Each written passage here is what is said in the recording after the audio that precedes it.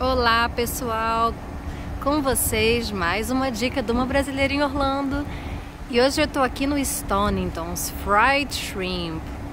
Eu achei esse restaurante muito bacana, ele é perto da Universal, relativamente perto aqui em Metro West e a comida é muito gostosa e o preço é muito bom também. Então você tem aqui o especial de almoço, é, você paga R$10,50 Aí você pode escolher camarão ou frango e escolher é, two sides, né, que são dois acompanhamentos. E o mais interessante de tudo é que os acompanhamentos são super gostosos. Eles têm é, um pão de milho que é uma delícia, a salada deles também é espetacular. E o mac and cheese, que é um macarrãozinho com quatro queijos também, que é muito gostoso. Então eu vou estar mostrando para vocês o prato e fica a dica, as comidas aumentaram muito aqui na região de Orlando, mas a gente ainda encontra lugares bem legais e com preços bem interessantes também.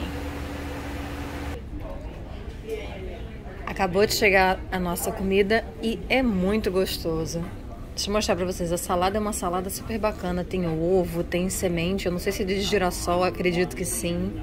O frango também é super gostoso e esse pãozinho de milho eu nem sou chegada em pão de milho, mas esse pão de milho me faz comer carboidrato mole mole.